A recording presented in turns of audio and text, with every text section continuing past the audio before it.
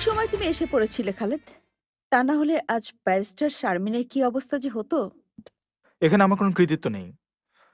কাল রাতে আপনি কিন্তু বলেছিলেন আজ আপনার আশেপাশে থাকার জন্য। থ্যাঙ্কস খালেদ। আমার কমেন্টস ফলো করার জন্য। একমাত্র ওয়ালটন এসি দিচ্ছে এক বছরের রিপ্লেসমেন্ট গ্যারান্টি